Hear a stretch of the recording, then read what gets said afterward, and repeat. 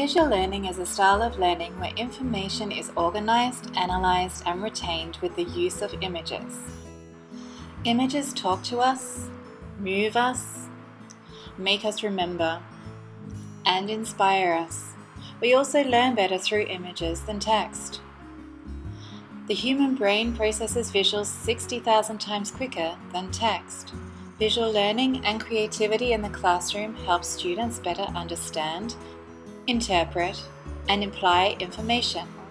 It is also a quick and easy way for teachers to gain an understanding of student progress.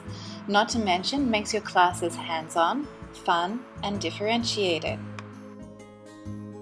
During my extended session, I'll demonstrate and you'll create. Participants will learn photography techniques, understand the importance of creativity, and visual thinking. You will create a digital collage using photo manipulation tools and layers. The collage will then be inserted into a variety of creative tools which can be used for reflection, research, or unique presentations. Hello viewers! Today I'm going to talk about my African mask painting project. With making the head in my sculpture.